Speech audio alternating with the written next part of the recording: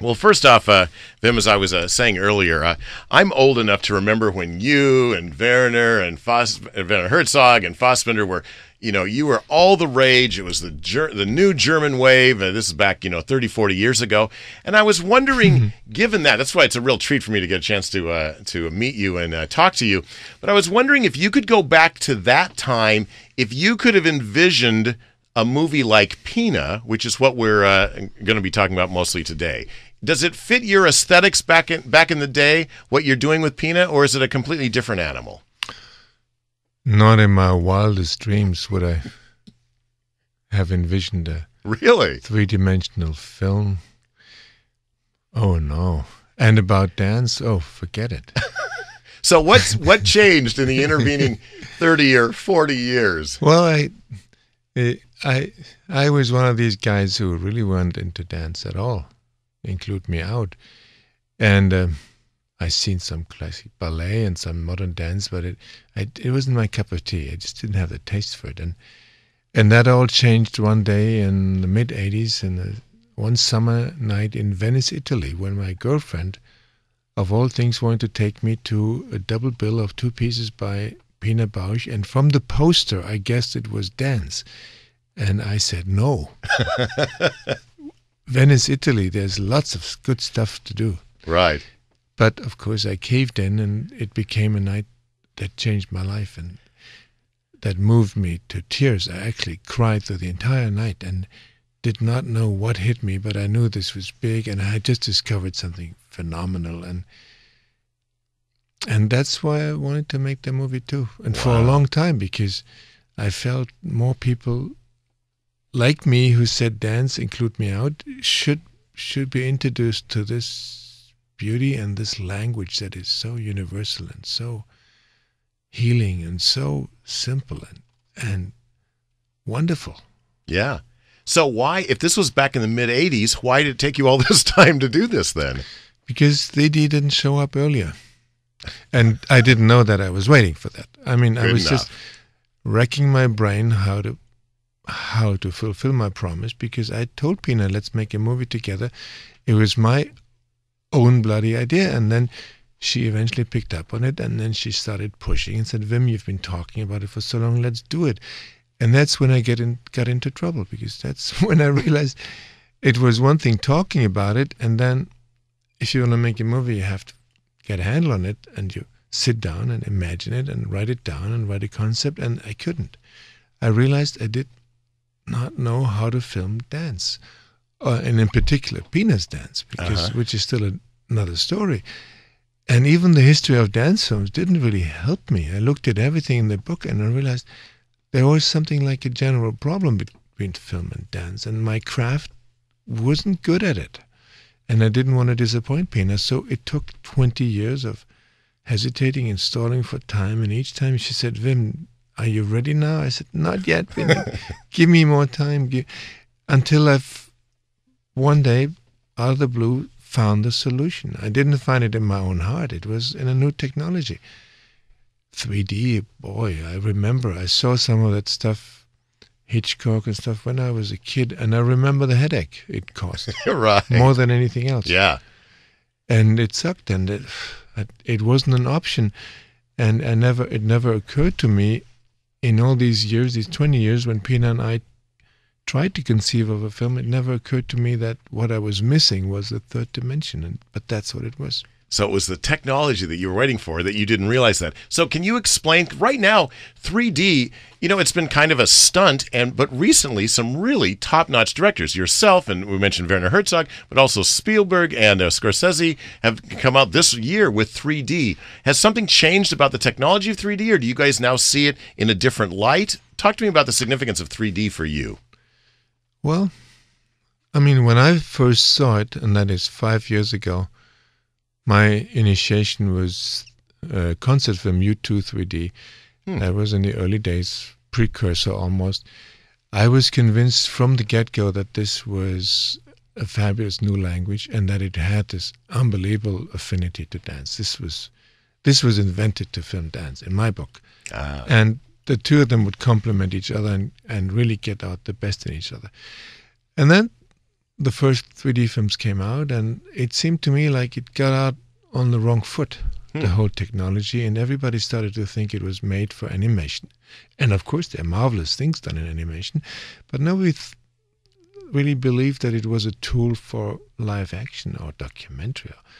And the first films, and we all got used to the idea that it was linked to rather to blowing up things and to action and blockbuster movies and I think in the eye of in the eyes of the public, it was reduced to that all of a sudden, and it took a while until it slowly sank in that maybe this is an instrument that is not only good on different on faraway planets, but also on our own planet.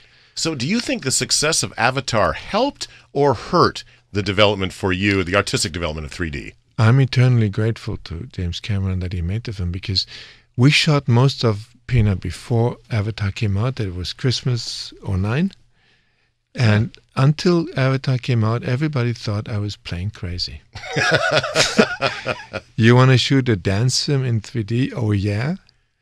And then Avatar made us look respectable. Ah. And, uh, and it really put 3D on the map. And out of a sudden, people thought, well, maybe what film is doing is not so completely off the planet. So, can you explain to us uh, who Pina is, what the significance of her is, you know, um, in the dance world, um, and for you? I mean, what's sort of what's her standing? She was a true revolutionary and pioneer, and she single handedly reinvented dance or Hmm.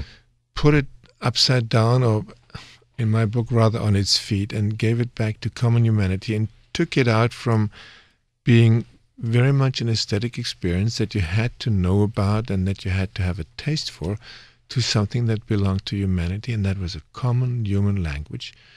And she from she turned it from an aesthetic experience maybe for some uh, privileged people into a very understandable easy and almost existential thing that everybody speaks you can see it Yeah. i took very tough cookies into seeing Pina's real men who who would otherwise see sports and would tell me Wim is this really serious you're going to take me to an evening of dance you can't you must be kidding i took these guys and after 10 minutes i looked at them and they they were crying Yeah.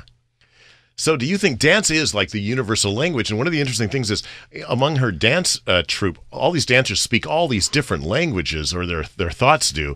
How German is Pina Bausch? well her ensemble is not german at all there's a couple of germans in there there's 36 dancers but Yeah. they're really from all over the world and i counted they speak altogether 18 languages in the film we reduced it to eight Yeah. they're Do- from all continents But do you think she has a specifically German uh, sensibility in any way? I any think way? so. You think I so? think so. I think so. Pina is there's something utterly romantic about the approach, and there's something German and something very un-German as well. Yeah. I mean, she's there's a lot of humor in Pina's work, which is probably the un-German part. and and she's she was a very courageous woman when she invented a whole new language and dance theater was something that just didn't exist before Yeah. and it wasn't theater and it wasn't ballet and it wasn't modern dance. it was something altogether different she got a lot of resistance. The first couple of years there were doors banging and people shouting. They even called the police when she, with the first performances. And then after a while the people of her own town started to love her and embrace her. And then then it became something that conquered the world.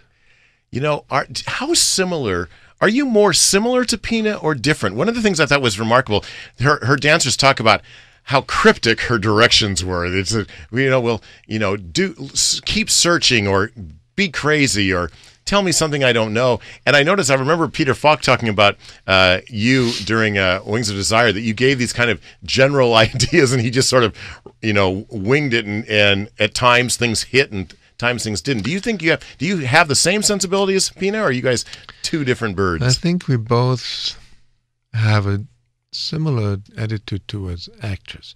And Pina's dancers are all actors and there are there actors who are dancers. And that is a condition in order to work with Pina. You have to be both. Hmm. You have to be a great dancer and a great actor.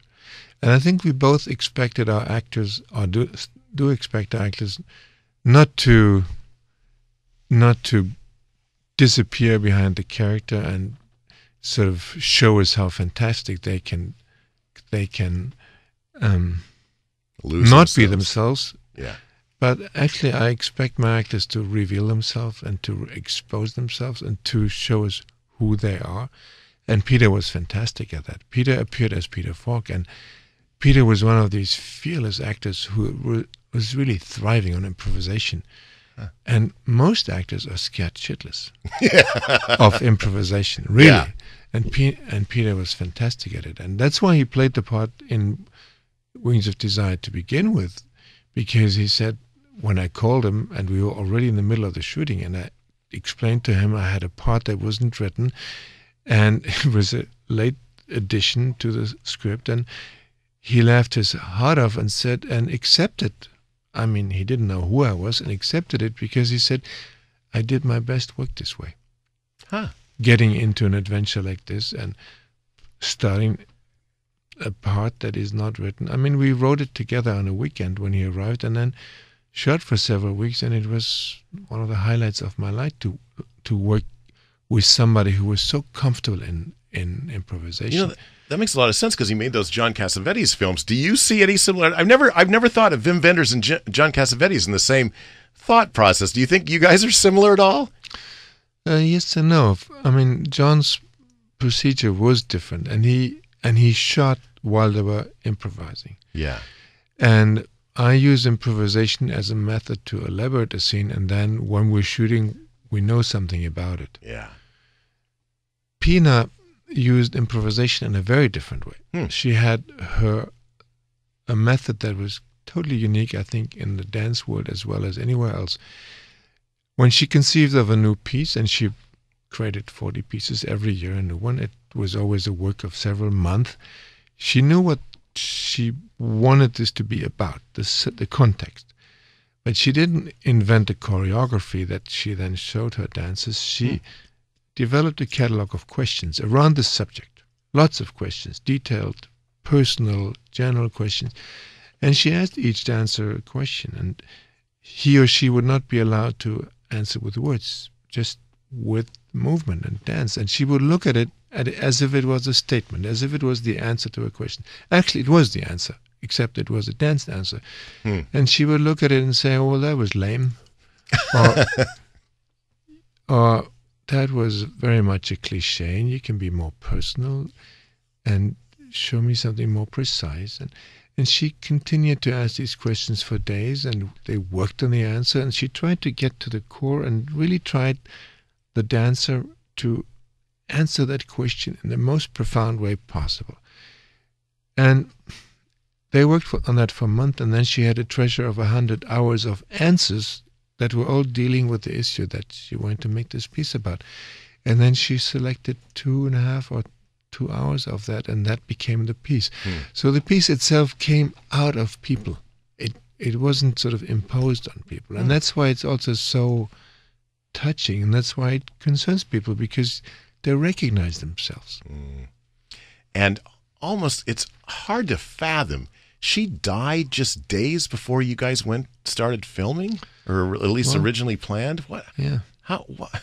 That must have It been was- devastating. What was that? It was a tragedy because after talking about it for 20 years and then preparing for two years and finally being ready to shoot it, and then she passed away, really literally from one day to another, unforeseen. Nobody knew it.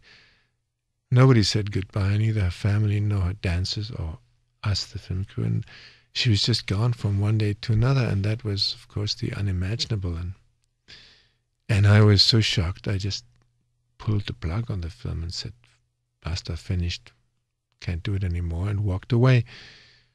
And there is only a movie now because the dancers did not walk away. Hmm. They actually performed the night that Pina died in tears, and soon afterwards decided to stay together as a company. And then, a few weeks later, started to rehearse the very four pieces that Pina had put on the agenda of the company. And that's when it dawned on me. Maybe this was the last time they were ever going to do this, and how excited Pina had been by the two of us inventing, applying this new language to her dance. And it dawned on me that maybe we we couldn't make the film with her anymore. Definitely, we couldn't make the film mm-hmm. with her anymore. But maybe there was a film we could make for her, and that film could also be a way to say goodbye and thank you and find a way to deal with the loss. And that's what we then did. And I, am sure you've uh, you've imagined this. How do you think? What would her reaction to this movie, this particular movie, be? Do you think? Oh, I ask that question every day with every shot. I, because we had been working it so closely in the preparation that I felt she was looking over my shoulder every day. Hmm. And with each scene and ev- with every setup, I really had to ask, answer that question to myself: How would Pina like it? Is this good enough, Pina? Is this what I promised you? And did we take too many liberties here or so? Mm. So I had to answer the question, and I only knew when the film was finished, and I showed it for the first time to the dancers.